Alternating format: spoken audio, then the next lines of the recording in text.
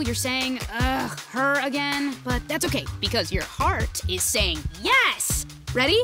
Lunge one, and two, and three. Nice. Four, and let's hold this one. Lunge, hold. Imagine doing this every day. You'd literally be lunging into a healthier you.